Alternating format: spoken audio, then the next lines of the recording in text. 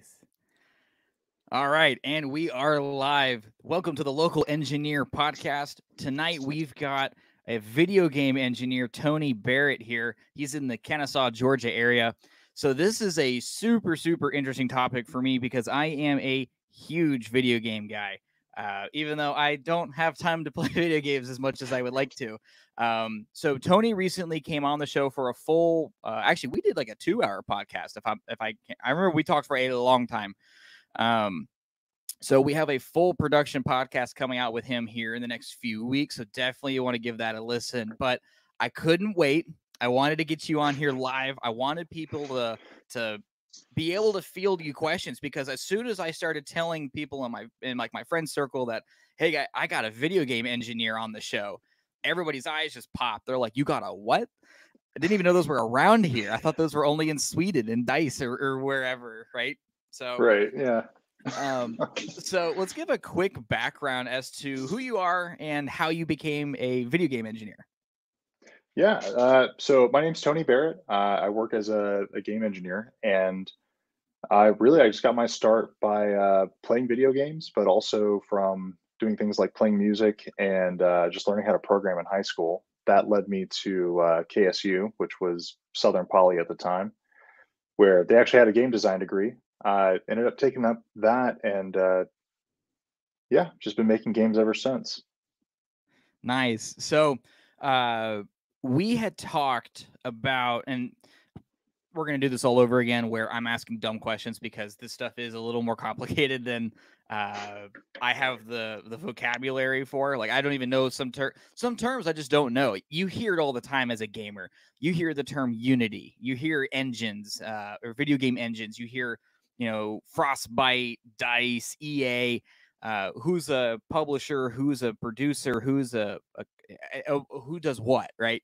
So let's get and you were we, before we went on air here this evening we were talking about vr and how you that's what you've been tangled up with a lot lately so um right, yeah for christmas i got my wife the uh oculus quest 2 absolutely love this thing this thing is fantastic um she kicks my butt at beat saber like like i'm not even trying um and then my favorite game so far is uh oh geez what's first off, the first one is the Star Wars Galaxy's Edge uh, game where you're actually like going through the ships and the the actual Galaxy's Edge. And if you've for all of you out there who've actually been to Disney World, Florida, with the Star Wars Galaxy's Edge area, if you haven't, first off, go. It's like the single handedly the best park I've ever been to. Regardless, it's not just a bunch of mice running around. It's like actually the coolest just immersive park I've ever been to, especially if you're a Star Wars fan, which I'm I'm a huge Star Wars guy. So to be able to go to Star Wars Land or whatever they call it, Galaxy's Edge, and I'm walking around, you're in all of these different lines waiting for the uh, for the ride to get on. We rode the Millennium Falcon ride, which was a fantastic ride. In the waiting room right before you go in, we got to sit in like the Millennium Falcon uh I guess like the di- like the just the rec area. The iconic scene where they've got that checkerboard where they're playing that I forget the name of the game, like the with the hologram, uh, di- like hologram aliens and stuff. So we're sitting there at this table, and it's just like, holy crap! Do they put a ton of effort into this park to make you feel like you're in the movie, and then the game. And that's when I learned that there was, a, and this was before Christmas that we went. Uh, and someone had mentioned that, oh yeah, they have this place in the VR game, and I was like, I, I this is before I even had the VR, so it was kind of a big goal of mine was I want to get VR and I want to play Star Wars. Let's see how this goes. Um, currently, I suck about I suck with a, a lightsaber. I'm not that good um, on the other games, uh, but the the Galaxy's Edge VR is quite possibly my favorite VR game at the moment. Um, I've played Onward, Onward is a is a great game, very very technical. Um, also That's makes me the, nauseous. Um, the military sim one, right? Yes. So yeah, I mean, you're actually able to like lean your head around corners and stuff. Uh, it's not like the regular, you know, keyboard, mouse, or uh, controller video games where you lean over and part of you is sticking out, but to your perspective, you're not, and you just get blasted through a wall, basically. Um, So sorry, I, that's that's my little rant with VR that I'm actually absolutely love with it. I'm still trying to work up my tolerance to it. So I get I get motion sick easily, apparently, with it. Uh, shocker. I can do roller coasters, no problem. Uh, you put me in the back seat of like a minivan, 15 minutes, I'm toast. And that's what this feels like. it's so, funny because uh, it's it's actually the same thing. Uh, right. I think the term is simulator sickness. So like your inner ear and your eyes are getting conflicting info, and so your brain thinks, "Oh, I'm poisoned. I need to throw up," and so that's what ends up happening. Apparently, you can train it out, but I don't see. I don't really get that super bad, so I've never really run into that. But I've got about a 15 minute limit uh if, on onward i can do about 15 minutes a piece in onward but in the galaxy's edge i can go for much longer um because you're not as you're not running around as much it's the quick change of direction that that really you know gets me oh yeah. so oh here we go so oh by the way everybody so if you're watching and you have any questions please put them in the comments i'm actively monitoring the comments right now so right now we have little pine cone uh, has commented on the YouTube stream and has here we go. I'll throw it up. So uh, Tony, you can answer this one. Um, dude, this looks like a streamer. That's a night. Well, I hmm. All right, we're gonna look into this. Um, how does logo. cross? Yeah, it is. It's really nice. Um, how does cross-platform work with for video games? That's actually an excellent question because I fundamentally never understood, even when I was in high school, why I had to only play with people on Xbox and none of my friends on PlayStation could play the same dang game as I was. So, can you go into this one? Can you take this one? Yeah, for sure. So, usually, from what I understand for cross platform games, uh, the way it works is instead of it hosting all of the game data on either like a Sony or a Microsoft server, it's some third party, usually Amazon server that both consoles will connect to. And it basically knows how to handle oh this is a, a, playstation person so i need to send them the right playstation info so sony doesn't lock them out. Same thing with microsoft. Um, usually nowadays the reason that cross-platform doesn't happen is more of a of a business decision than a technical one. Although i do remember this was probably mid to late 2000s there was a xbox 360 game that was uh, an FPS that they tried to do cross-platform specifically with PC and Xbox, and they had to scrap it because you just can get way more specific with your controls on PC than you can with controller, and so uh, yeah. uh, everyone on Xbox was just already at a disadvantage. yeah. So, um, so yeah, thank you, Little Pinecone. That was a fantastic question. I love that. Um, so going so continuing on with that uh, as far as cross platform goes yeah i definitely see i definitely thought for the longest time um and you're probably still on the money that's what the current reason is is pure business decision we're going to keep all xbox people in our environment we're going to keep playstation people in our environment and it's just a battle of the brands basically but lately we've been seeing a lot of games that are becoming cross platform uh but not as much of the uh, what was it? Uh, what's the word? The the big big flagship franchises like Call of Duty and Battlefield and stuff that only just recently were they becoming like truly cross platform um, across right. play, PlayStation, Xbox, and PC all together. Um, and I believe the the first one that at least I got into that that had that and was well done was uh, Call of Duty Warzone, which I was like, this is a great. It's a one game mode you know, I, I, I could totally understand what, like you were saying, uh, all the information basically has to be done whichever platform it is, and they still all have to communicate with each other. Um, right. So one game mode, one game type, one map. I mean, I don't know how much easier it could really get as a controlled environment for code, but that's where you come in because I don't know anything about code when it comes to a video game. Well, so, this is where I'm also getting stretched thin a little bit because I don't know that much about networking. So I'm making a lot of assumptions oh. here. Okay, so that's I, different. I feel like I'm also. Game. Well, it, it is and it isn't. Uh, so I know I've, I've dabbled a little bit in some networking stuff, and for some things, yeah, it's going to work the same as if it was a single player experience or even a local multiplayer experience. But gotcha. uh, you know, actually like sending data packets and making sure everything's synchronized, that's kind of where I usually fall off of it because it's not relevant to whatever work I'm currently doing, and I just don't have the time to learn it. So that's that's about where my knowledge ends on that. Gotcha. So uh, another thing. So I, first off, I don't know. I think we talked briefly about like what kind of games you were interested in, but are are you interested in the new Battlefield 20 2042? I think it was is coming out. That game. Yeah. Oh man, that's got my interest peaked. I'm just my issue is I don't really have uh, the hardware right now to run it. I'm kind of disappointed about that because yeah, I haven't really been excited about a Battlefield game until like yeah, really until this one came out. Yeah, especially right now where you know GPUs are hard to get and the people you can buy them from are trying to scalp them for twice the MSRP.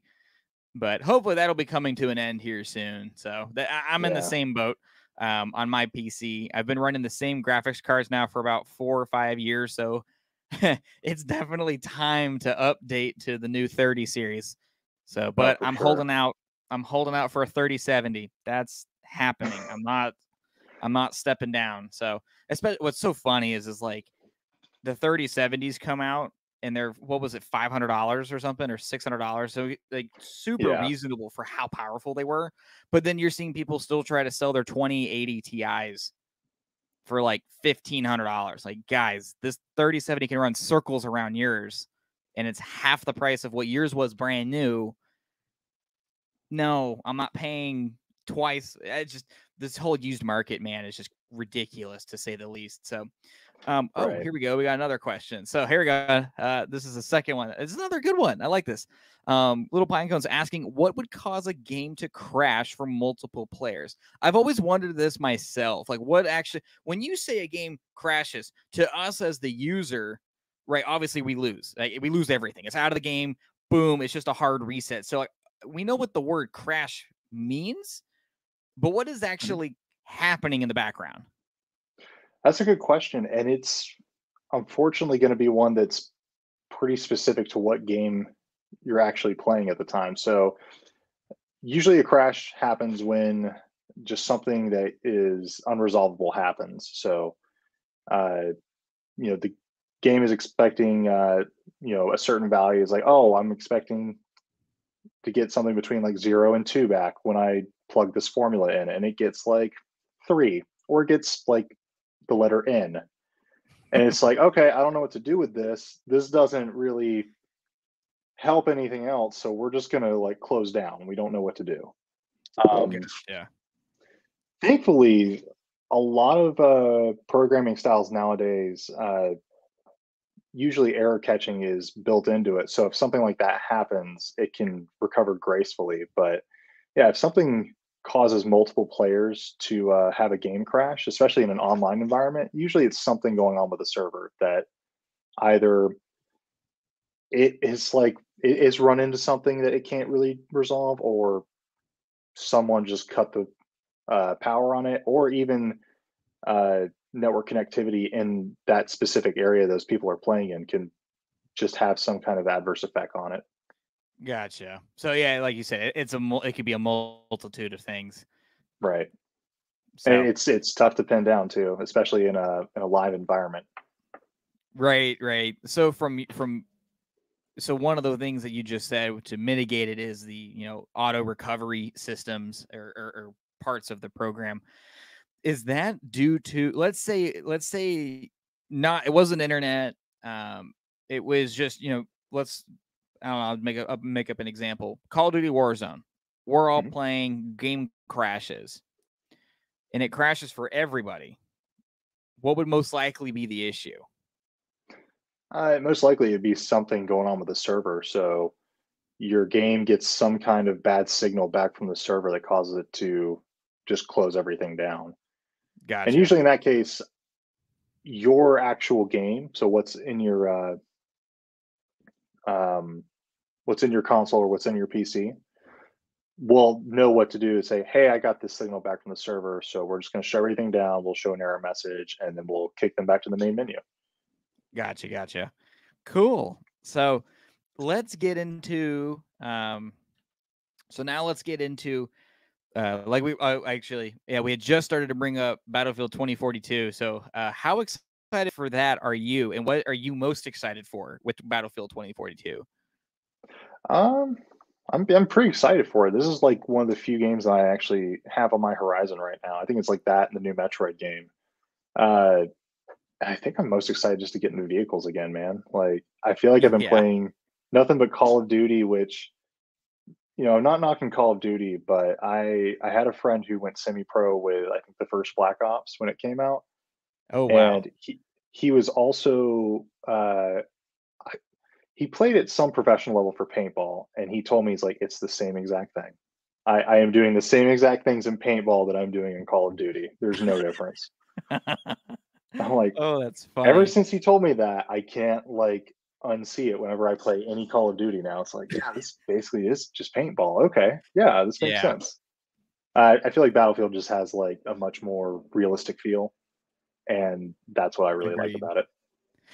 That's I so yeah, I, the franchise I always fell in love that I fell in love with and was most loyal to was absolutely the Battlefield franchise. Uh, so I actually got interested in games with Battlefield Bad Company, and I didn't know at the time that Bad Company was different than just the regular Battlefield.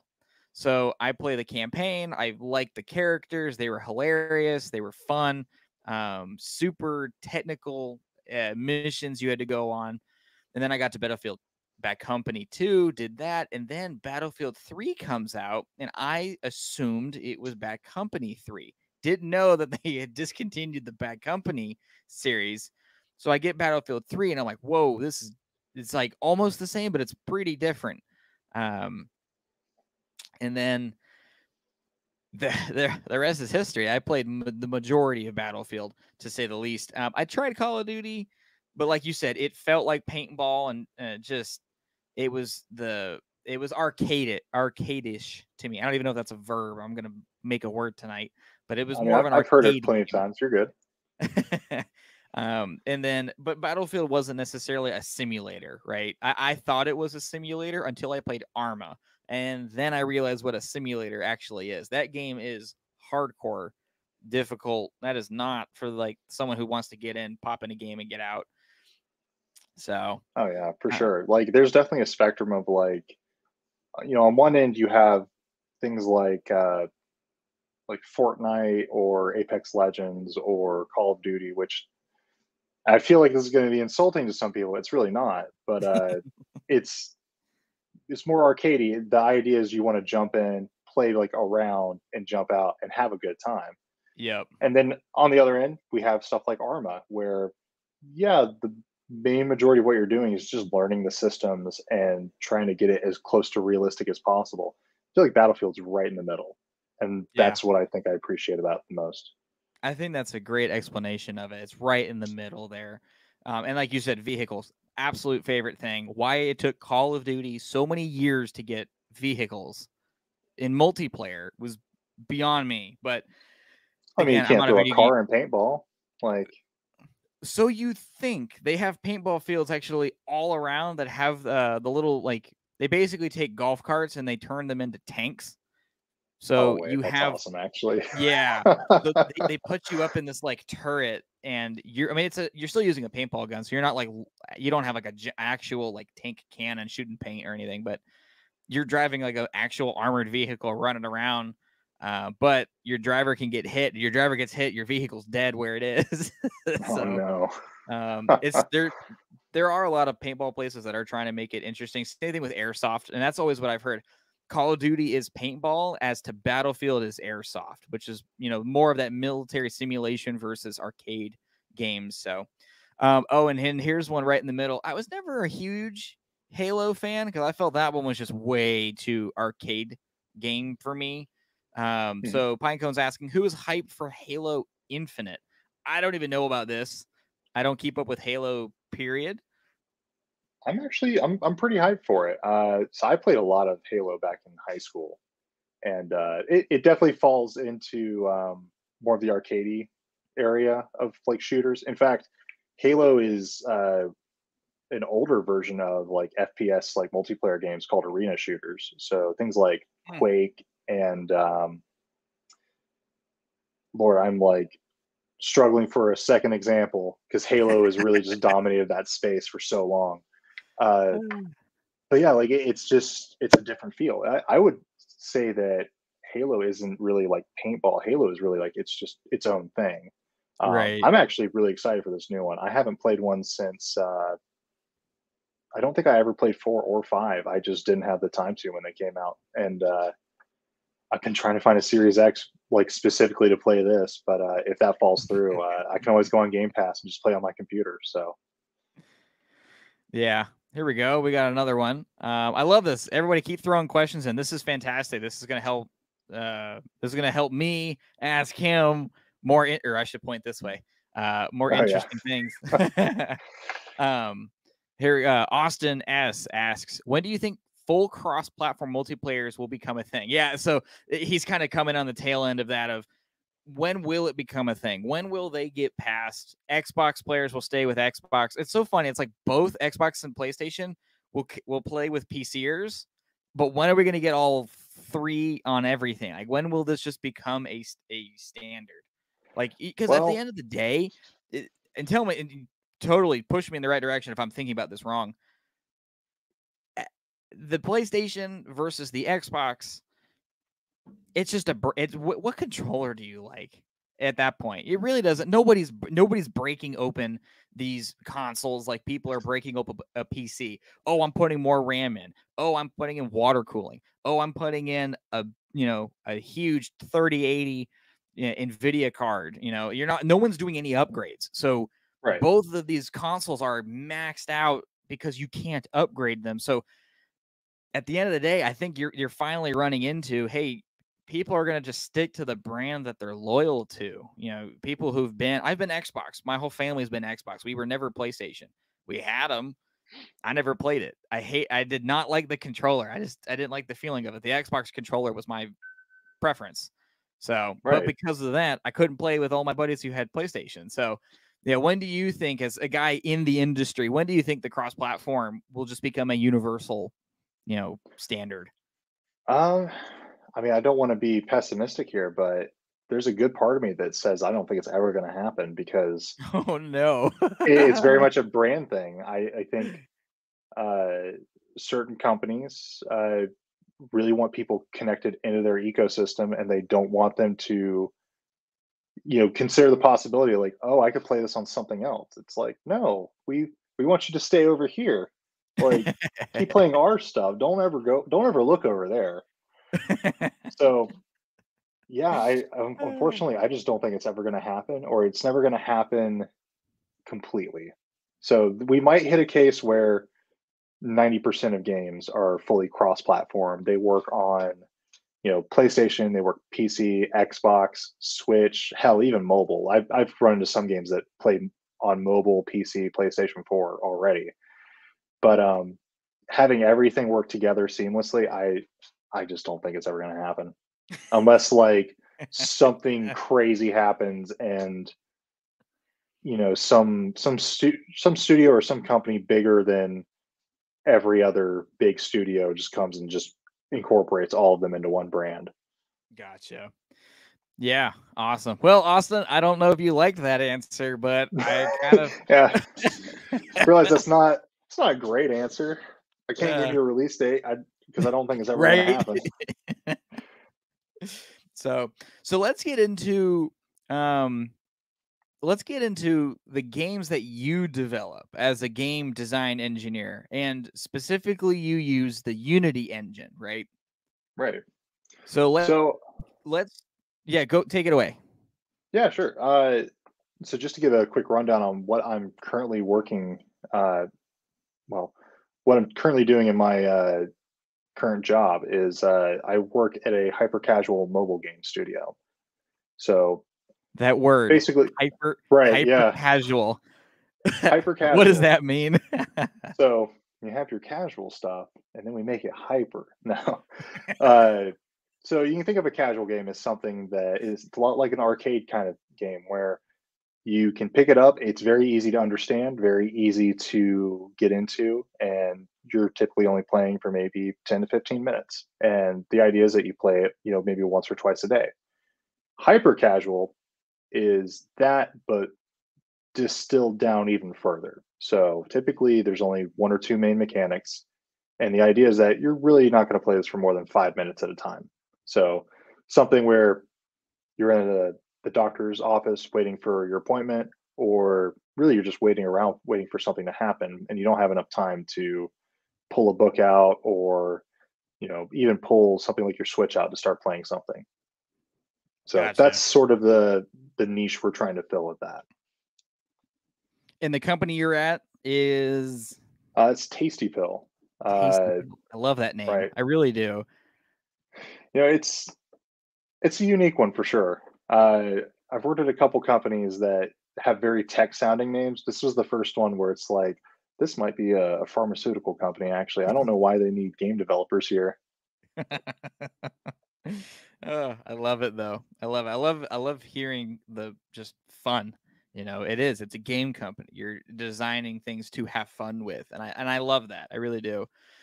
So with the Unity engine, so I'm aware of the engine only because, believe it or not, uh, once you and I uh, connected a few weeks ago to get you on a podcast and then to come on and do some live streams, was I had uh, advertisements popping up on Facebook, believe it or not, for the Unity engine, and it had uh, it had some like CNC machines, and they were showing how that you know the Unity engine is being used to train uh, uh workshop employee. Uh, they're they're sorry. Let me get my words together here.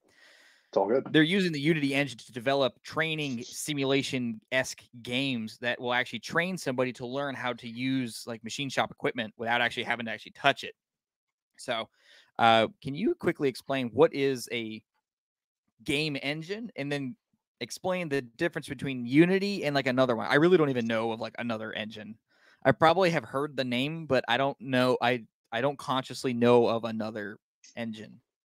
No, you're all good. Uh, so to keep it as simple as possible for uh, you know just anyone listening, uh, Game Engine me. is just going to be. Well, there could be others. You never know. we are we are alive right now.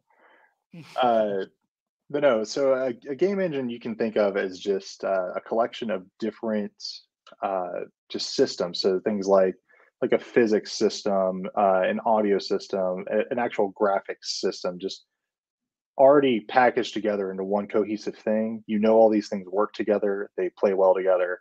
And so you don't have to worry about building all of that separately now. You can just focus on putting them together in interesting ways to make a fun game.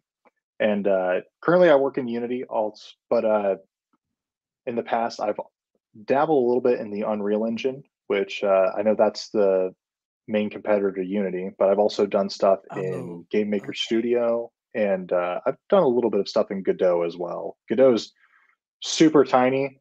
I think they've probably been on the market for two or three years at this point. Oh, and wow. everyone I know who uses it swears it is the best thing ever. But I think it's it's like the PBR of game engines right now, in my opinion. it's like not a lot of people are into it, but the people who are are just kind of snobby about it. Which, yeah, hey, maybe maybe there's something to it. I I don't know. I haven't had the chance to look at it yet. Oh, that's funny. So, what all do you do in Unity? Oh, that's a big question. Uh, oh. As far as like day to day, or like, like uh, what kind of you, you guide that. So again, coming from somebody that I, I just know, I know of Unity engine you've now explained to me um, in general terms what an engine is mm-hmm. um mm-hmm. but what do you what specific like what can you like you said like the physics aspect right so right uh an example of one of the physics aspects would be uh, like a flight simulator game, right? You've got the physics of your plane traveling through the like actually flying, right? That's all. That's all physics. It's some luck, but it's mostly physics. Um, um, and then you have you know your first person shooter games you actually have the mm. realistic games have ballistics like where you know that little tiny rock is a projectile that has to curve and whatnot. And then other games like Call of Duty, you can take a as the that was probably the most infuriating thing to me with Call of Duty was you would take the most inaccurate thing and then just make a laser beam shot from entirely across the map. And I'm like, that's not how this works. That's not how any of this works. Oh, These things have like like the like most most handguns like the nine millimeter caliber. Um, so I got so frustrated, I went and did the math on this because I I I'm, I actually built I actually programmed myself my own ballistic calculator in MATLAB. Mhm. That it's another level of nerd, and I, so I've been told. But um, I wanted to be able to just magically type in like ju- and just keep it basic. Um, of course, every elevation you shoot at would be a different result and different weather conditions. I know that, but um, what was it? I think like 300 yards, a 300 yard shot with nine millimeter was like a thir- you would have to hold oh you so like holding over is you're aiming higher than w- where you are actually intending to hit because you know your projectile is just a little ball right it has to it will rise and fall you have to hold over about 13 feet to get it to land at the target at 300 yards or or whatever it was which it doesn't seem like much a little a tiny like fraction of a degree can yield a 13 foot height difference and why. So i kn- uh, me knowing this and playing call of duty and seeing somebody laser beam me from the entirely other side of the map just ugh, it it just got me.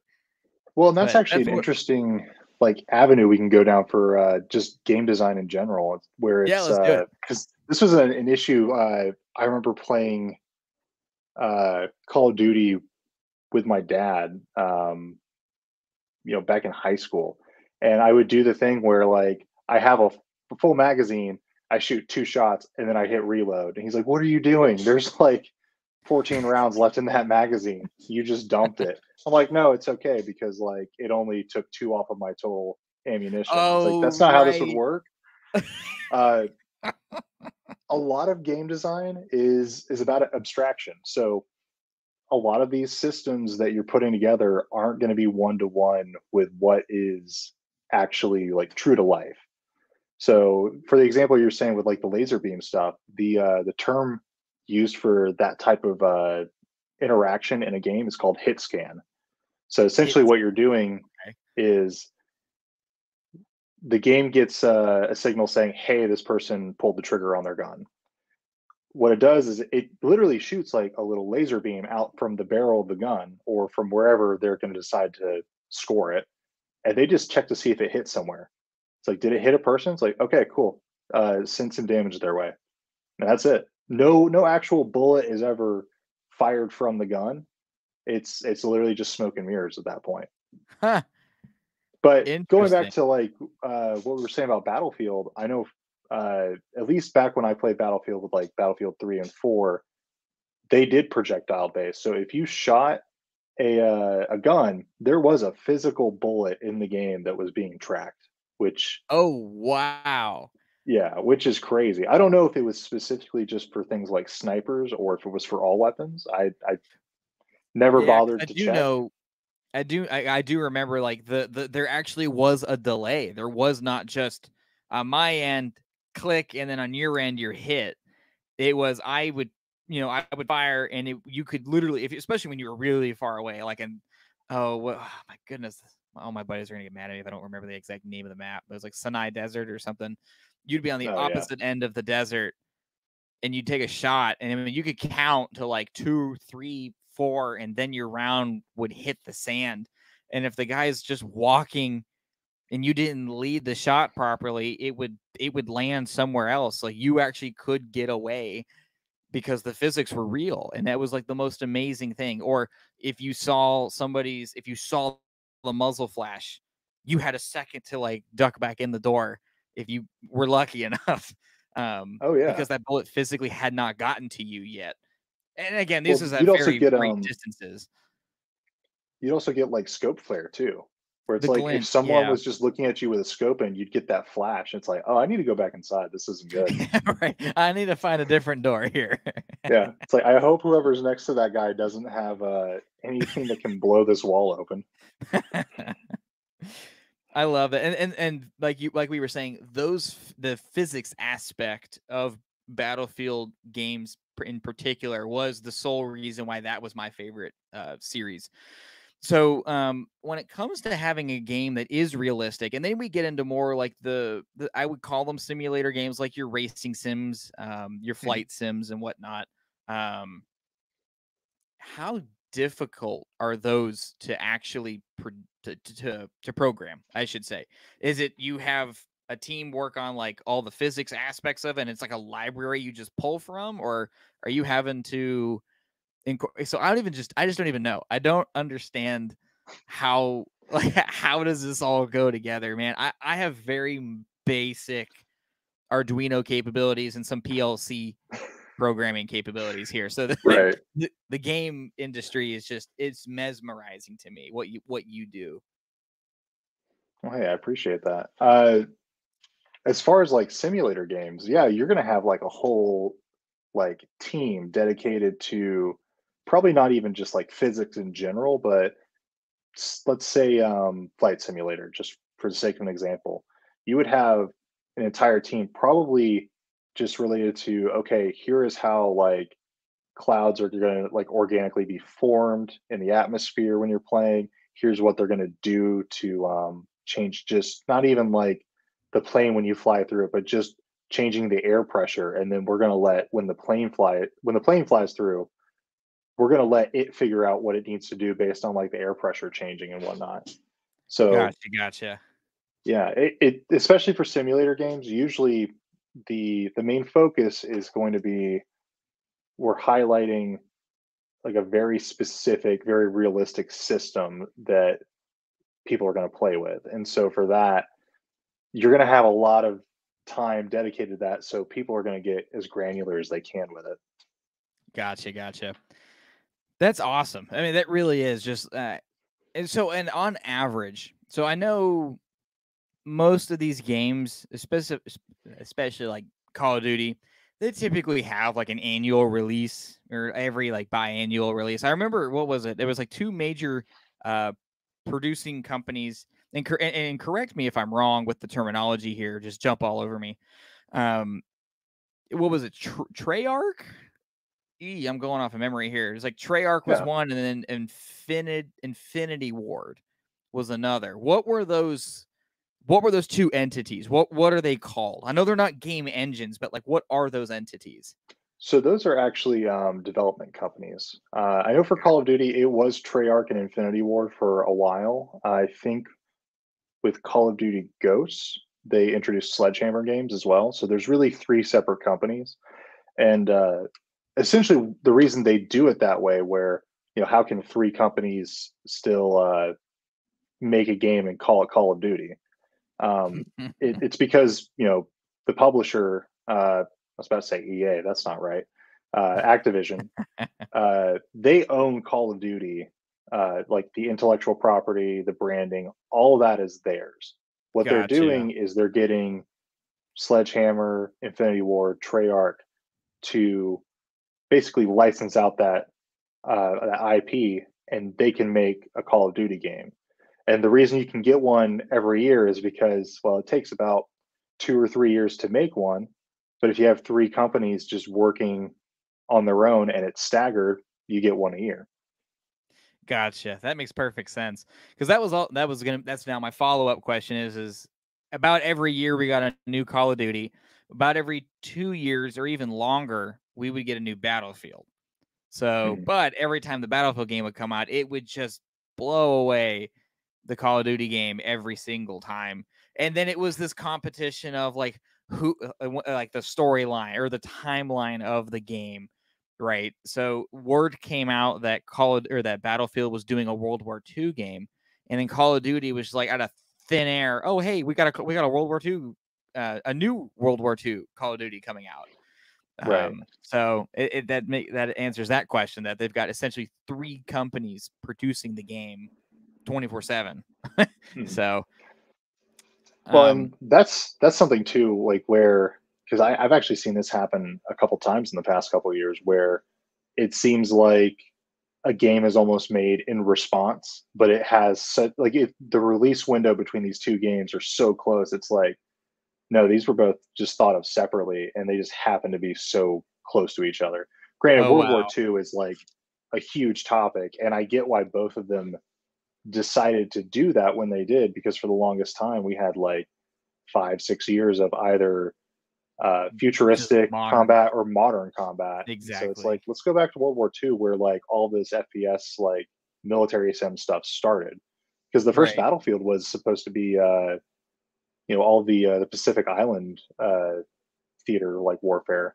So it was like everything like in like 1940s.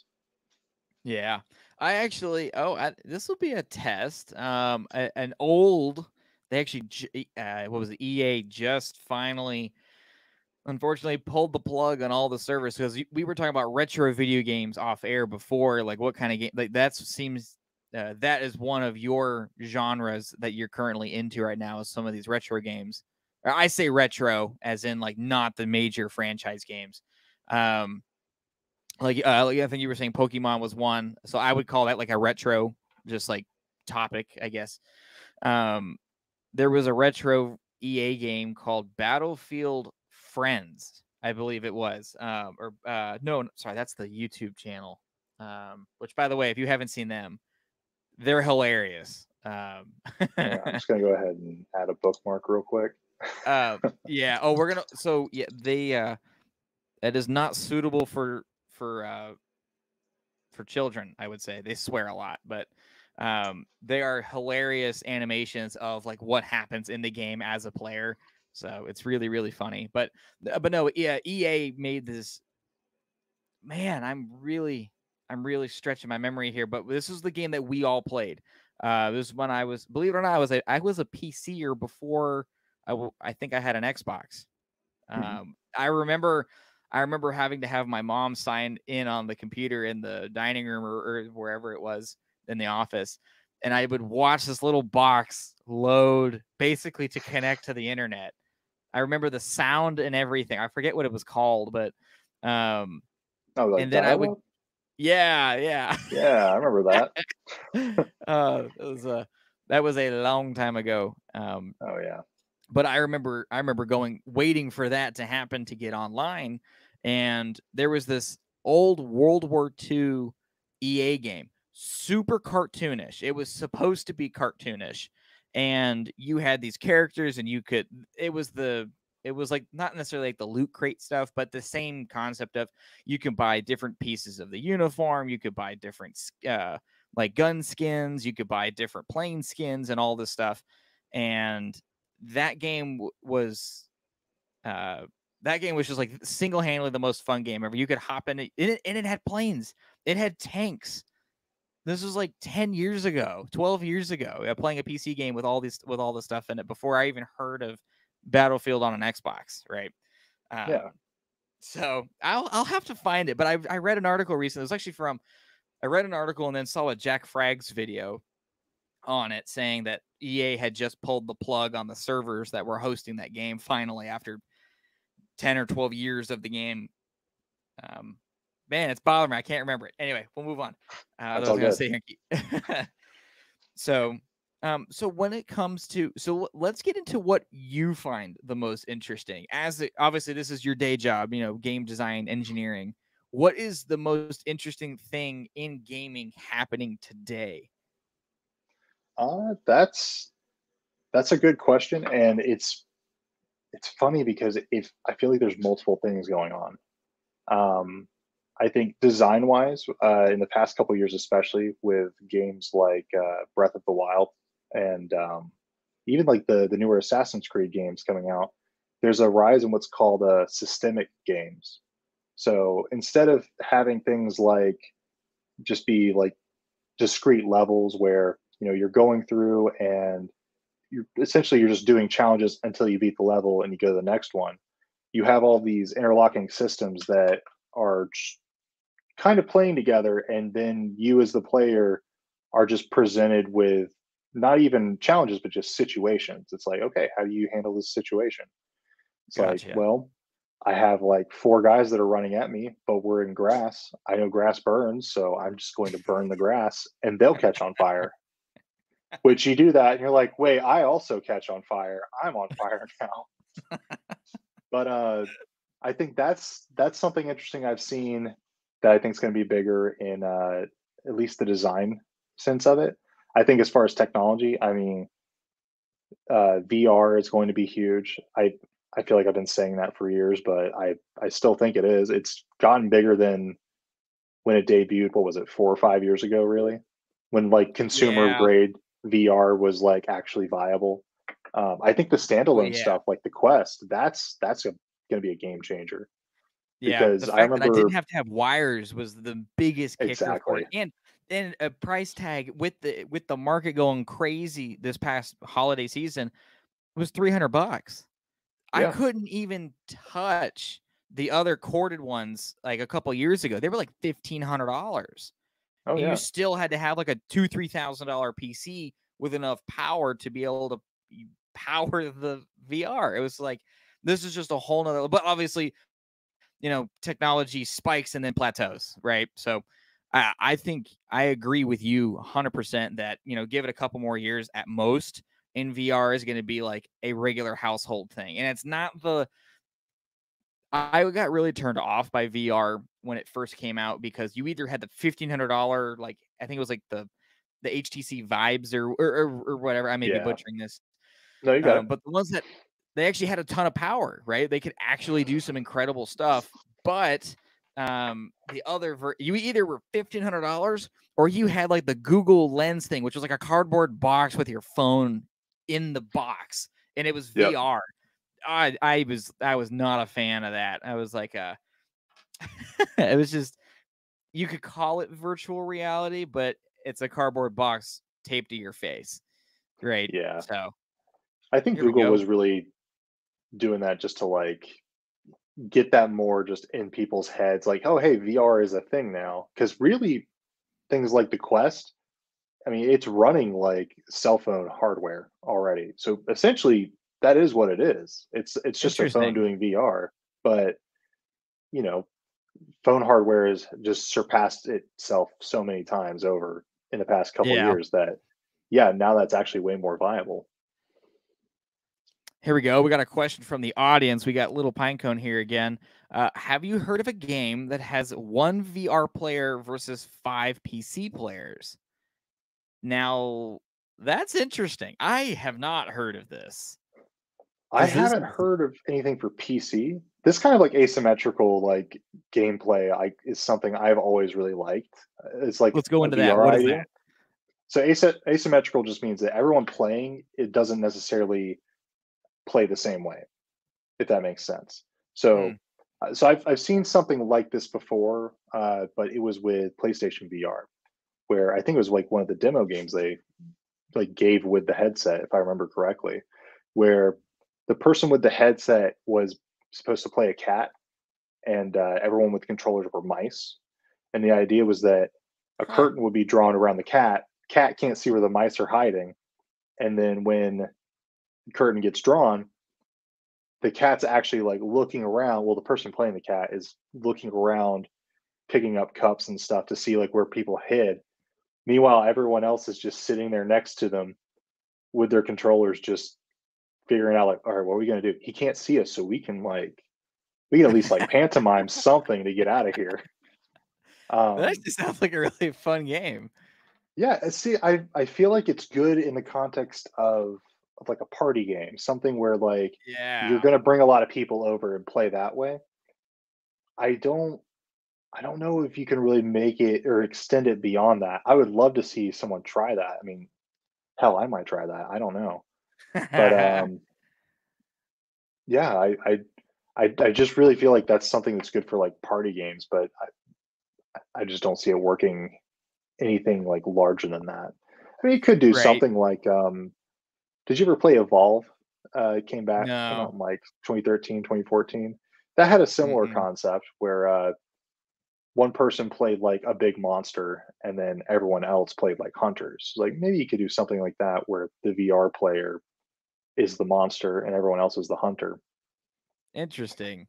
Yeah, I like the I like the party game aspect because uh our VR whenever we have guests over and they see it. So I, and when you came over for your podcast, I showed it to you sitting on the wall. Um uh, I 3D printed off of Thingiverse uh, just a, a Quest uh, Quest 2 VR wall mount, right? So it holds and it actually hides, so you can't see the mount behind the actual VR. So it looks like the VR is just floating on my wall, and so are the controllers. The controllers are mounted to the same thing. So when that thing gets a lot of attention in the living room when people come in, they're like, "Oh man, you've got VR, and oh, you've got the new one, the wireless one." Um, and we let everybody play it. It's kind of I mean, luckily, like I know we we always cast whatever they're playing onto the TV in the living room so everyone can see what they're seeing. But they are they're in their own world because the speakers on the headset or on the actual Oculus is it's so loud. It's crazy how the it, it's really well done. How loud Oh the yeah. speakers on the Oculus actually is to you as the user, but to everyone else in the room, like you really can't hear it you can see what's on the TV. I can listen to what's happening on the TV and it doesn't interfere with you playing with the Oculus. So I think that was extremely well done, uh, to say the least, from a from an engineering standpoint. Uh, Oh yeah. Especially the fact that uh, sorry? I said, but but you're still you're still playing alone, right? So right, yeah. everyone else is kind of sitting on the couch just watching you swing your arms around and the joke is can i go get my the cookies and milk off the counter over here without getting punched which my wife Yeah. my my wife squarely punched my butt uh, one of my buddies in the face he had came up to help her and he was like okay here i'm going to he was trying to tighten the the strap on her arm he had just given her the the controllers and then she's like oh, okay, wait. And then she picks up a paper airplane and she goes to throw the paper airplane and she just broadsided him in the side of the head with the controller. that sounds about right. But- it's always the but yeah, person that goes up to help too. it- it- They're the one who always gets the brunt of it. so um oh geez what i just do here we go um so but for but for you here we go. So uh little Python, i hope that answers your question because i actually had never even i never heard of that i never even considered is there a game with one vr and multiple pc players? Uh, so actually let me ask you this. So have you been seeing all of these like haptic uh, devices for gaming? I am extremely interested in this technology. Uh, I wanted to be one of the early Kickstarters for it, but I found the Kickstart after it had already ended. Um, it looks like uh, like a like a like a, a a flotation vest almost for like like when you go like bass fishing and you've got the really really tiny life saving device that like inflates once you actually fall in the water and you pull the cord and stuff. But they use speakers. They use like high powered subwoofers essentially that are really tiny, but they put them all over like your chest. Your, uh, they put them on your chest and your back and your waist and stuff. Um, and when and when you're playing like a first person shooter and you get hit in the game, the speaker will actually just you know emit a frequency. It'll emit a, a sound wave, but because it's such a low frequency wave, you can physically feel it and it'll hit you like a gunshot but you're playing in your basement so i i want one of these things so bad they're like 1500 bucks right now for the good one there's two big companies that are currently pursuing it and i think that have gotten pretty far with it it's still not there it's like you said it's still got some time to where that becomes a household item just like the oculus is you know starting to become more popular Oh yeah. but um, as far as gaming tech, those haptic vests are super interesting to me. Especially that is what would get me into VR more than anything. Is you know how realistic can I make this game? Um, and then the second thing, I don't know if you've seen it, but they have these like uh, whoops. They have they have these dishes that you stand in. It's like a satellite dish, and you they either have rollers like like almost like tiny little rolling balls, or you just wear socks and you can actually run in the dish and the the it tracks your feet or you can be wearing a hip like device and depending on the tension of the cords, it tells where you're running. It tells if you're crouching, if you're standing. It's it's ridiculous how in how in depth this stuff is getting. Oh yeah, and I I, feel like to the haptic vest uh, idea, I feel like the main you know strength of VR is just immersion, and anything you can do to increase immersion is just going to make the entire experience better. As for uh, like those treadmills, uh, that actually is going to help to fix um, some of that like simulation sickness that you mentioned earlier, where yeah, uh, I think the the the term used is locomotion. So okay, if you can have true one to one locomotion, so you know if I move a foot and it tracks that I moved a foot in the game, then yeah, my my eyes and my inner ear they're completely fine. They're working together at this point. Right, they're synced up properly. Right, which means I can play longer, which means people can make experience that'll or experiences that'll last longer, and uh, you know everyone will be happy. Yeah, that I like that. I, I hope that becomes the norm. Uh, is all of these, like you said, these immersive uh, accessories to this uh, to the VR and to gaming. Um, right. I, I mean, like it, it's it's one of those things where like it's always going to be the hardware is not there yet but it's always in more specific areas. Like i remember um did you ever go to disney quest as a kid? Disney quest? I don't think so. So this was a place that was in uh it was at walt disney world in orlando but it was essentially a giant arcade and oh was, yes. Sorry. Yeah. No you're good. Uh it was built like in the mid to late 90s and they had VR there, but it was like 90s VR. And literally, the hardware issue is that these headsets are like 50 pounds. So I can't. I can't wear this without like having this big harness hold it up for me. And now we're at the point where it's like, you know, it'd be nice if I could like feel it when I get shot. but you know, what? I feel like we're I feel like we're on track. I think we're gonna be okay, y'all. Yeah. Here we go. Austin Connell just commented. He brings up a good point. Um, or uh, not a good point, but a, a, good idea. I could only imagine a racing simulator in VR with haptic feedback. Yeah. So actually, um, I'm very glad, Connell, that you popped in here. So th- this guy in the comment, first off, this is a true friend here, sticking out till 9:30 at night on a live stream uh, uh, to su- to support my show. Um, this guy right here in the comment was the person to get me into VR. So he has the full. I forget what setup it is. Comment Austin if you want to let me know what was the exact VR that you had. But his had the cords everywhere, so you you were range limited. But he also had like the sensors around that set up his space, and he was a huge racing simulator uh, guy with the VR. And I could not, for the life of me, while we were in college, I could not race a single game more than like four to five minutes. Uh, that was it. I couldn't. I was so nauseous from it. And then this was the most genius thing. He takes his fan, he takes his little like space fan, he sticks mm-hmm. it in front of my seat, blowing air at me as if I have wind blowing past me as when I'm driving. Solved it. I could race for 15, 20 minutes at a time.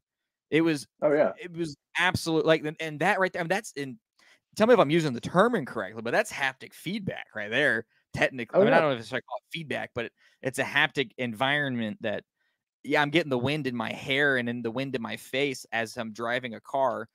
My ears and my eyes are syncing up together a little bit. Oh, here we go. Yeah. So he says he has an Oculus Rift. Okay. Oh yeah, um, no, I've um got one of those on my bookshelf right now. Oh, cool. that's actually what I was using a couple years back. And it's like there's for me it was too much equipment, and now that we have standalone stuff, that's all I want to use but no, like yeah. Oculus Rift, that's a that's a good model. Yeah, it, and this was ooh, I don't know, 2016, 2017 when he got me into this. Yeah, that's that's about and, when I got into it. So, um, yeah, I, am excited. So, as far as the haptic feedback for racing, I'm trying to think of like what what could we do other than like those crazy, like you know, multi-axis um those big multi-axis racing sim systems that you could go get it like uh oh, what is it uh oh, what's the electric racing cart place down in Marietta? Oh, Andretti's. Right next Andretti's, yeah. So they've got that Yeah. really big uh simulator. Here we go. Here we go, Austin again.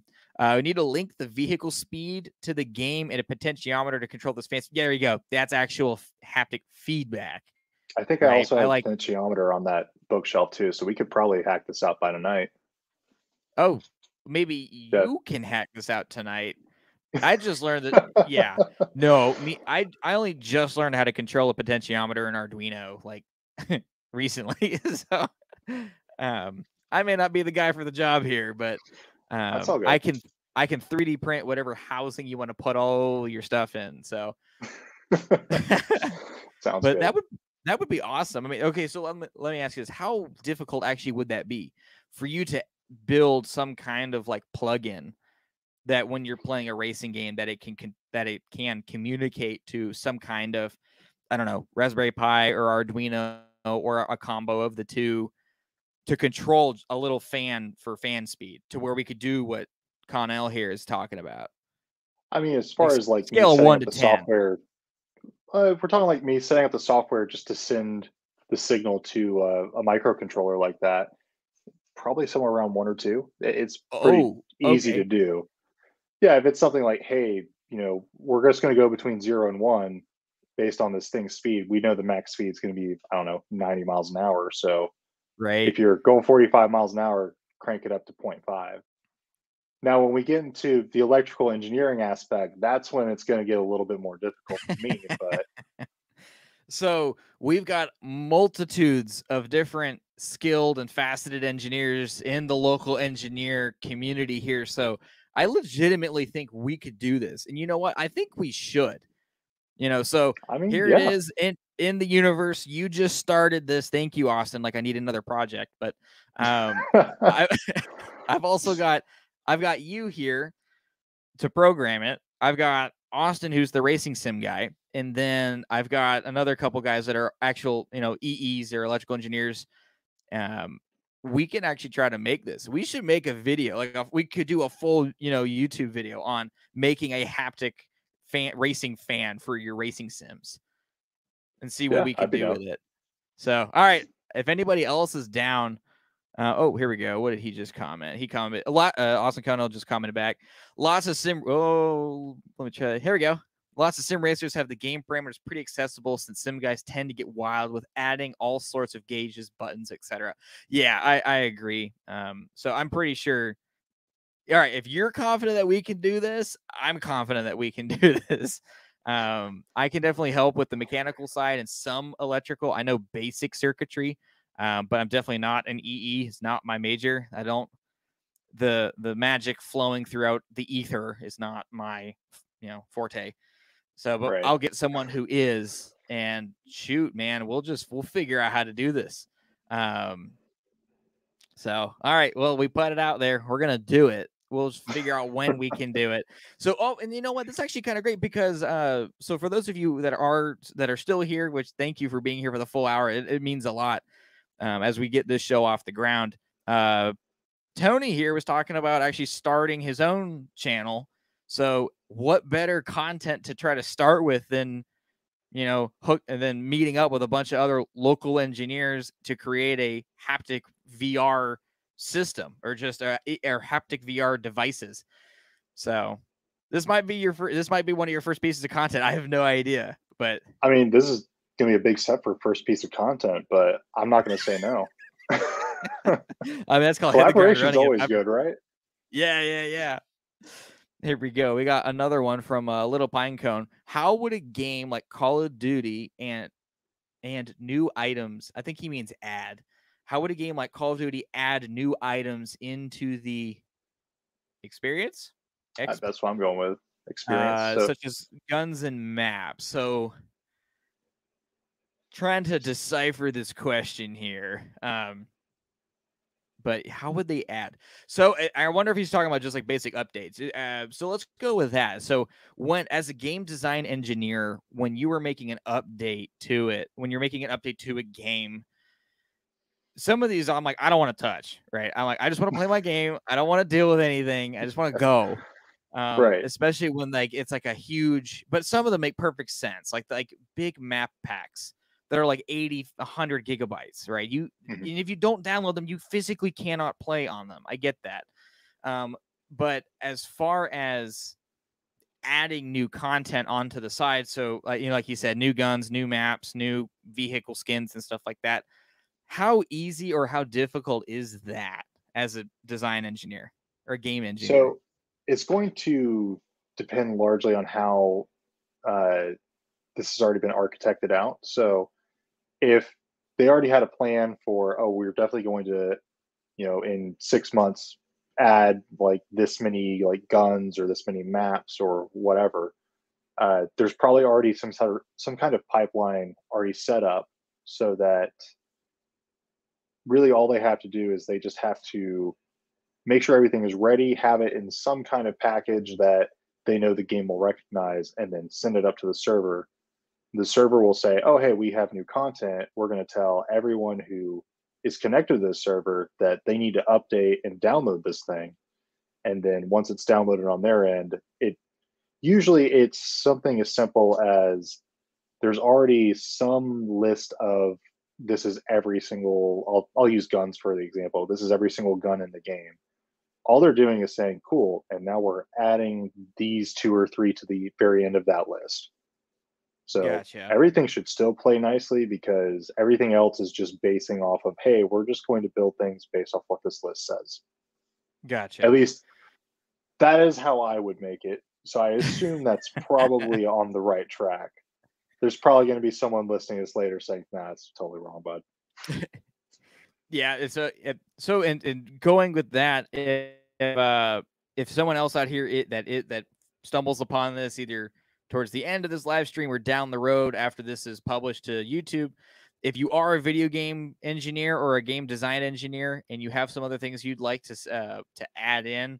uh, you know, head over to the localengineer.com or head over to our Facebook page and send us a message. We love learning about new technologies. Um, and we also like, of course, if we say something that was just flat out incorrect, you know, uh, we're we all learn here. You know, none of us are proven to be experts, but we are professionals in our field. So um, if we have something that we can improve on, absolutely let us know. I like, like I said, I love learning new things, and I love learning when I wasn't right, so I don't do it again.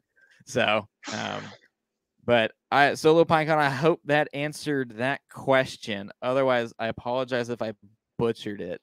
Um, so, um, all right. So now getting into some of the games that you have developed. Let's get into those. Can can you talk about what you've been doing at Tasty Pill, or what came, Sure. what kind of games are you guys working on? I should say.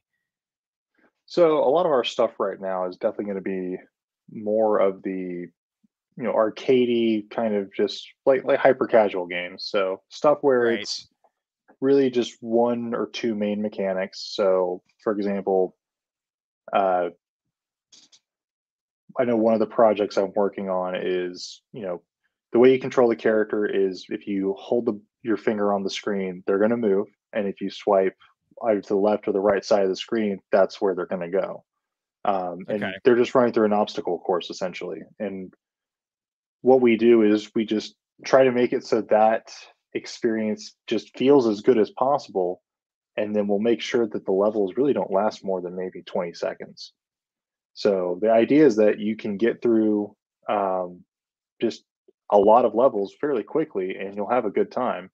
And, you know, we'll also make sure that you have some uh, like some skins or some kind of unlocks to you know work toward because we know that some players while they do like just the actual challenge aspect of it some really also just like to collect things and so Right. we want to make sure that we appeal to everyone Absolutely. Yeah, one of my favorite and tell me where this lies on the hyper casual spectrum. One of my favorite like mobile apps when I used to play games. I really don't. I genuinely don't play mobile games. I have not played mobile games for several years now.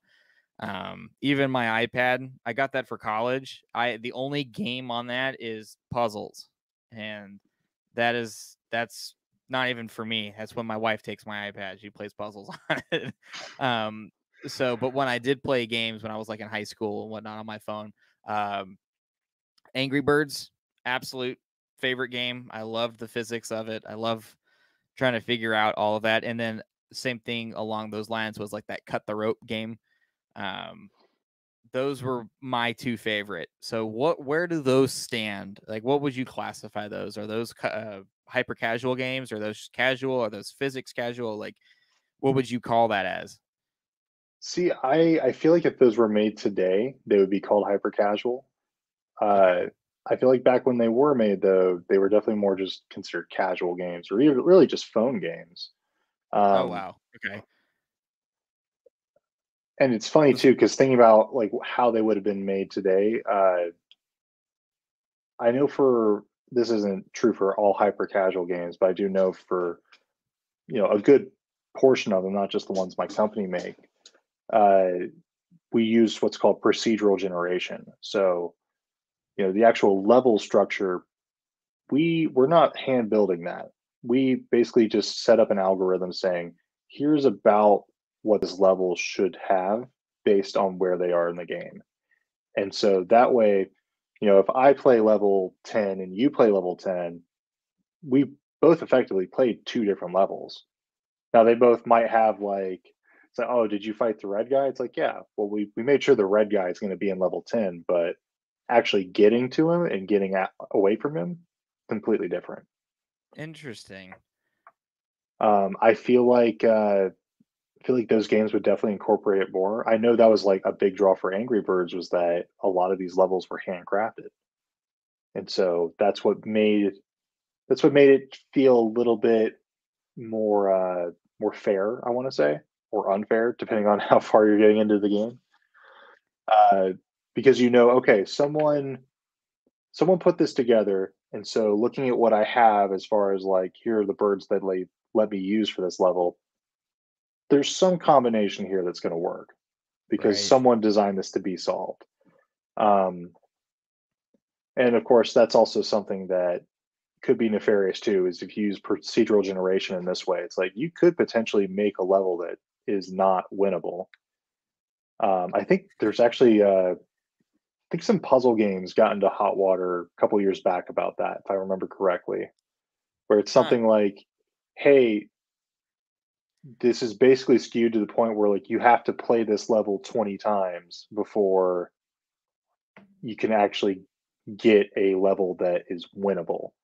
And of course, every time you lose, you get served an ad. So it's like this is uh this seems a little bit in bad faith. I don't I don't know if I want to keep playing this game. Oh, that's funny. Yep. Make it so hard that you pay an ad revenue for the person playing the free game at the end. Oh, it's it's genius and cruel at the same time. Yeah. It's you know, funny enough, uh I remember this might have been Battlefield 3 or maybe even Bad Company 2. When uh, that first came out, they had like some kind of pass where it's like, hey, do you want to just have every gun and every attachment? Give us twenty dollars. Yeah. And everyone's like, that's stupid. No one would ever pay for that. And then like 10 years later, it's like, no, that's just that's just how we play it now. Yeah. We don't really get the option. I I I remember oh my goodness. I remember seeing that. Um I would be working my tail off trying to get to whatever it was, whatever level. And I'd see someone who's like a level five with the same gun that's at the very end of the list I'm like, well, I, at first I'd be like, while I don't like it, I'm okay with it because I bought this game. I paid sixty dollars or something for this game to play to have fun. If you put an extra twenty bucks in, what's an extra twenty bucks to have more fun in the game you're already in? Right. So, and I I, I see both sides of it. I see there are people who have more time than money. It's like well, they would rather just grind it grind through the game and just get all of it themselves. Yeah. there's people too who it's like, I don't have a lot of time to play games. I don't want to be playing an experience that is not what I want because the gun I want, I have to, you know, get through 50 levels before I can even get to it. Right. So yeah, yeah I, here's 20 bucks. Let me get my gun, please. I remember uh and so and then there's the ones where you can only these ones were always the most fun but because they were so difficult to like organize to get but once you got it it was like Oh my! Oh, everybody, look at me! I got this. Uh, I actually, I distinctively remember. I forget. I forget which battlefield it was. I want to say it was Battlefield Four. Um, you had everybody. You, there was a certain way you could get this like crossbow as as your primary weapon, uh, mm-hmm. or as like a or as an accessory weapon or something. The only way you could get it is if you were running around a few select maps and then randomly throughout uh, the game only one like piece of like intel or something would be scattered somewhere across the map.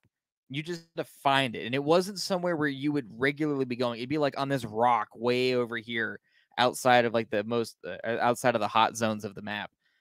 And it got to that's where really i saw like the whole easter egg community start really developing people were building websites that were dedicated to tracking where these little pieces of intel would pop up. Um, they would record like the times, they would record what maps uh, had different cycles, if there were any patterns as to like, okay, well, we see this pattern of it, this spawns at A, B, C, and D in this order at these times when these are played with these other. It's just like I thought I I had no time, or I took I took I played I put way too much time into the game. These people were running circles around me while I'm complaining about how much time I'm putting into a game. But the Easter egg sense was just something that I think was ex- an extremely genius stroke towards the game, or, or, or an aspect of the game, I should say, because it didn't cost me anything but it it sent me on a journey. I was on I was looking on web I was looking on Easter egg hunting websites.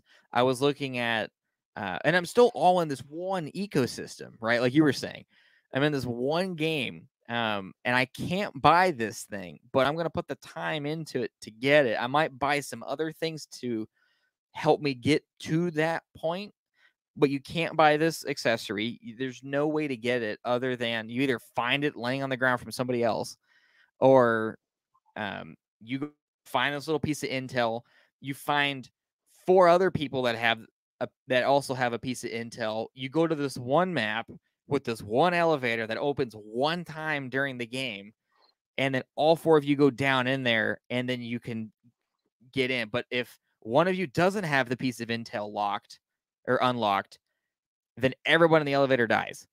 So it's like, yeah, you have to play with other people. You cannot accomplish this mission on your own. Um, so from a I don't know. I kind of, I, I, just, I literally just, you said something and it just kind of popped into my head as to like how involved in the game are you, are you willing to go? And these people are figuring it out how to either make, offer you an out where you can pay for it, or uh, for people like you and me who like to enjoy the grind of accomplishing something that that absolutely extraneous task or all these extraneous tasks to get this one thing accomplished was absolutely worth it. And then in the end, they unlocked it for everybody. So yeah, here like we go. Someone can play loud enough, right? Um, here you go. How do you feel about flying games that are PC that are PC and VR accessible? Um, so this is one thing that I have yet to dive into. I have Microsoft Flight Simulator. Um, I play it. So I would say that's the game I've actually been playing the most, and I still don't play that often. Um, I have yet to plug in my VR. I just haven't. Have you? Oh, uh, is like the Oculus Link stuff? Yeah. Or, uh, I mean, I did it earlier today, but that was because I was developing stuff on it. But um, no, I haven't really played. I haven't really played anything through Oculus Link, but from what I understand, it would be as if I was playing within an Oculus Rift. Which I mean, I, I have Rift games, so I assume those would work. Um, as far as flying games, I I had a game called Elite Dangerous, which was supposed to be like a space flying kind of sim game, and um, you know that one handled pretty well right up until uh, I went like I inverted, went upside down, and then I was like, I have to get this off. I'm going to throw up right now, because uh, it it was so it's such a surreal experience where you know your your eyes are saying you're upside down, and literally every other part of you is saying, "No, you're not. Something's wrong." um, That's crazy that we have developed a technology that, I mean, le- legitimately just screws with your senses this way. oh, I yeah. find that to be amazing. And then we intentionally buy it and subject Right. ourselves to it and think we, But- oh no, I won't vomit. I'll be okay. Yeah. Well, I, I remember this anecdote where someone once said that, uh, you know, really all books are is we just, you know, pummeled trees down and then wrote r- random squig- uh, squiggles on it. And every time we look at it now, we just hallucinate. It's like, I mean, we've been doing this for years, really. Yeah. But no, as far as like uh, how I feel about them, I think that uh, I think that they do have a, a good like spot here. I think VR is really a good place for simulator type games. That said, as far as the flying aspect, um, it's like what I was saying with simulation sickness. That's going to be the biggest hurdle, and for some people, it is not a big deal, and for some people, it is a huge deal. Where you know they they can't really play with that kind of um, that kind of stress on their body, and so I, I feel like they're going to have to find a way to either either mitigate that or just completely sidestep it for it to really be more of a uh, of a welcoming genre for VR.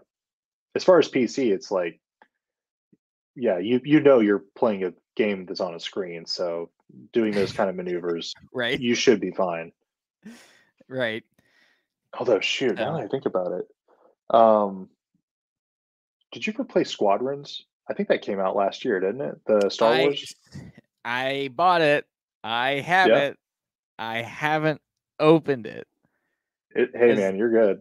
I think as I got it on like sounds. PlayStation Plus, and I still haven't played it yet. So I- all I got it on good. Black Friday sale. It was like it was like eleven dollars or something. It was normally like fifty. I was like, whatever. All right, I'm buying it because Yeah. so many people had talked about it, and then I heard that there is a way that I can use my Oculus Quest twos and play Squadrons. And I'm again, I'm a huge Star Wars fan, so anything I can feel like Star Wars, I'm in. Whenever I go to Disney World and I see that all like the costumes are for little kids, they don't actually sell them for adults. I'm always like kind of hurt. I'm like, hey man, I would totally buy this X-wing jacket right now if you made it big enough for me and Right, not yeah. six year olds. hey, we could do that. We could make our own full size, like adult X-wing jackets, and then put haptic devices in them, and then play squadrons together in VR. That's not a bad idea, actually. So, what were you doing with VR? You were saying you were developing VR earlier. yeah, so I'm really just trying to get my uh, my feet wet with uh, just making VR stuff. Uh, I would really like to, uh, you know, just do more of that in general. Um, so far, it's really just been making Unity and my Oculus Quest just play nice together, which uh, I think I spent about 30, 45 minutes after work today just trying to get them to not like basically if I plug it into my computer, all I get's a black screen on my Oculus. It's like, can I not have that though? And eventually I figured out what the issue is, but uh or is- issue was, but you know, it, it's slow going, but that's that's usually how it goes whenever you're messing with the new technology. But uh yeah, I I Yeah. I just like to try making stuff, you know. That's awesome. Just, I mean, that's how I sound like. Now I'm seeing the other side of the spectrum here, where I'll say, "Oh yeah, I just, I'll just build stuff in my garage," or "Yeah, I made that. What, what's the big deal?" And then people look at me like, "Oh man, you're so smart." I'm like, "The smart is a relative word, people." um, you know, so I hear you say, "Oh yeah, I'm just developing my own VR stuff." I'm over here like jaw drop, like, uh, that's awesome. I, you're extremely smart to me if you're able to just do that.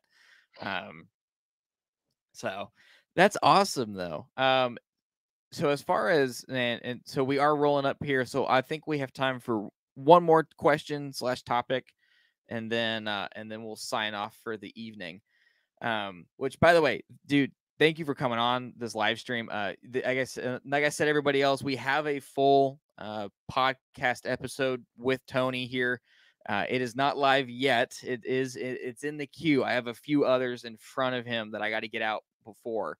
Um, and his is actually going to be a video podcast. So we'll see how this goes. Um, so stay tuned for his episode on Spotify, Apple Podcasts, YouTube, everywhere. It's going to be, you're not going to be able to miss it. So, but uh, we will be definitely having you on more often. Uh, this is, I love, I love talking about this, especially once Battlefield 2042 actually gets released. I think we'll have more kind of like, hey, did you see this aspect in the game? What do you think of this? What, how difficult is it is, I don't know, the the tornadoes that go through the game and stuff like that. Um, how right. how effective are those? And you know, we'll be able to play a little more and shoot. Maybe we'll actually just play something together and we can live stream us playing. So, um, here we go. All right, little pinecone, you have the last question of the show. Uh, a qu- with a quick explanation, how do hackers get into video games and how do people hack in video games? This is a great question. I personally also would like to understand how this works. I've seen these videos where uh, these, you know, very whatever these Twitch streamers are playing, and then they accidentally, while they're streaming, they click on their cheat bot that they have that's like helping them see people through the map and stuff. Um, right. And then they lose everything because they were caught. They basically showed themselves cheating. Um, yeah, it's like not only do you get kicked out of the game, you also get kicked out of Twitch. It's like that's just a double whammy at that point. But right, which I probably shouldn't have cheated. Should exactly right. Um, which I I had always. I mean, I remember one at one point like the hackers were really bad in like uh, Call of Duty, and then they were really bad in Battlefield, and now they're just man, they are everywhere. You cannot escape them. Uh, PUBG was terrible. I stopped playing because I couldn't just. I would I would watch what would happen, and this guy would literally just be spinning around from like on the absolute other side of the map, and I would just. It was it was so unpleasant to play, um, for for that exact reason. It's like I get it. If someone's better than me, fine, whatever. Um, it is what it is. I got I got to get better. I got to not suck, and I'll I'll last longer in the game. So, but yeah, how do hackers get with the like? I don't even understand how you hack. Right? Is it really hacking, or is it just you you paid, you bought something? Like, what is the cheating? What is cheating in a video game? Let's just go with that. Uh, so, man, what is cheating? Sorry, that, that may have been really a, deep. terrible question. I meant, let me rephrase that. Like, what? That was just a very deep question for me. I was just like, man, what what really is cheating though? No, so uh, I guess just a quick explanation on hacking. Uh, hacking is really, in the broadest sense, this is you know this works for video games. This works for hacking into websites, anything. You're just trying to find a weakness and then you're exploiting it. So in the case of video games, so for things like wall hacks or um, aim bots, things like that, you're essentially you found a way to override something that the game is sending to the server to skew it more in your favor. So for things like aimbots, you're basically saying, "Hey, I know I didn't hit that guy in the head, but we're going to tell the server I hit him in the head because I know that instantly kills him, and then I win because of that." So uh, yeah, there are a ton of companies that do make money off of this, unfortunately. And so what they do is they just spend their time trying to find these exploits and then they'll sell them to other people. Now, usually, whenever you get like a random update or a random patch in a game that doesn't really seem to add anything, usually, if you ever see uh, the line fix uh, stability issues, it usually means, hey, we're just plugging some holes so some hackers can't uh, do what they've been doing for the past week or so. Gotcha. Um, I want to say there was another one I was thinking of. Um, I mean, I remember back in the day with uh, lag switching. Uh, yes. Did you ever run into that back in the day? Yes. Uh, man, it was so infuriating. So, do you know what was causing that? Like no, why that I worked? Don't. Nope. I just uh, knew the term, and then I was always the victim of it. So back in the day, I think this was before like Modern Warfare 2. Um, there was a the server was set up differently. Instead of being a dedicated server where there's just one server that everyone connects to, it was peer to peer. So one person was the the host of the game. So everyone had to connect to that person to play off of like them. Huh. And so what someone would do if they had the lag switch is essentially you just have a uh, some way to just cut your router off for a second so that you can do stuff and uh, your packets get backed up. So like the signals you're sending to the server, you know, just kind of stack up behind each other. It's like, okay, well, we're going to keep holding these because we might talk to the server again in a second and we need to give them all this info. So you do that for a second, flip it back on, and now the server is getting all of this data back to back. And so it's trying to compensate for that. And that's why, like, you know, I'm just going to turn this off. I'm going to knife him. Cool. Turning it back on. Even if the guy is on the other side of the map at this point, the server is still saying, "Oh, hey, this guy actually died, so we need to we need to remove him from the game." So, Yeah. and that's basically what happened. And then, yeah, it's like you said. Usually, I was the one getting knifed, so it wasn't a great experience for me. But you know, at least I learned something. Yeah. So that was yeah, fun. that's interesting. That was several. I, uh, I I remember that. I remember the lag switching. I remember uh, on the actual controllers, people would have those buttons that would essentially spam the that would spam the game and say, "Oh, hey, he's throwing, you know, or he's shooting a hundred rounds in a split second, you know, instead yeah. of act, you know, I forget what that what what that was actually called, but uh, um, Oh, but yeah, I remember people were paying like stupid money for these Xbox controllers with these extra buttons on the bottom that Oh weren't yeah, like the SCUF elite controllers.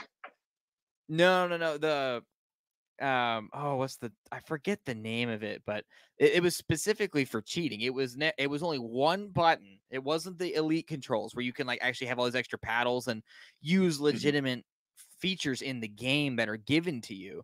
These could these buttons you would press it when you were shooting, and it would basically magically give you 10 times the amount of rounds per actual round fired. So that way you only had to pull the trigger like once on a sniper rifle, but the guy got hit with like 10 rounds. So Oh, it was an yeah. inst it was an insta kill. It just no there was no way you could escape it. Um and you would hear it. You would hear the guy go bang, but then on your character it would be like pow pow pow pow pow pow. And you're like, what how? There, there's only one round. This shouldn't be happening. So yeah, I like this guy's hitting me with a 50 caliber. It shouldn't be going that fast. so I remember those. Um, and then, but yeah, just the aim bots. The aim bots that let you aim through the, uh, especially when, when you were in like Battlefield. I had to quit flying. I couldn't fly a plane because everybody that was flying a plane was running an aimbot. and it was Yeah. the most infuriating thing. I'm over here like actually trying to fly these dang planes, and this guy's pointing over here, and in mid-flight, he's somehow hitting me. I'm like, he's not even pointing at me. How am I being hit by this? So, yeah, it, it, I de- I can't stand the cheaters. I have zero sympathy for people who cheat in anything, let alone a little you know stinking video game, which is just for fun. So, I definitely love seeing the the uh consequences that get brought on like these Twitch streamers that are cheating, and then they go, "Oh no, I lost everything because I cheated." In Yeah, front like, of I had this r- everybody. So I had this great job, and then uh, I decided to cheat, and now I don't. Yeah, and there's another one. I gave up on plays. He was actually one of the best pilots ever wh- when we were in Battlefield. I would always be the tail gunner because I I couldn't fly. I could. I mean, I that's could, when you know he's I a good pilot because no one wants to be a tail gunner. Yeah, yeah. He would. Uh, he would just fly all over the place. Man, we would go. We would go for a long time and just wreak havoc. So, but yeah, it was the same thing. It was just it got to a point where you know even having a tail gunner, you couldn't defeat these aim bots. So, but well, thank you, little pinecone, for the question there about hackers and video games and stuff. I think that's a much deeper topic too, so we definitely can have this conversation. We can continue on this on another episode for sure. But um, we we've been on here. Holy cow, dude, we've been here for an hour and a half. It doesn't know, feel right? like it. Um, so thank you everybody for tuning in this evening. This is a weekly Wednesday live stream. So uh, every Wednesday night at 8:30 Eastern, we're gonna have a live stream with some guests. So um, and last week we had to cancel. We had a we we did have a family emergency, so I do apologize that we didn't have that live stream. Um, and now we're you know backed up. So um, next week's guest uh, should should be the one that we had to cancel this Wednesday. So stay tuned for him. Um, and then this weekend we have a total of four podcasts we're recording. So this studio is going to be packed. Um, well, I say packed, like only one person at a time, but you know, every every booking is clear. It's crazy, dude. Like I, I'm excited that you're here with me this early on with the show uh, especially for the live stream. Um, and thank you to everybody here in the comments throughout the evening that was fielding us good questions. You know, I started this show because I want to be able to ask people like you these kind of questions.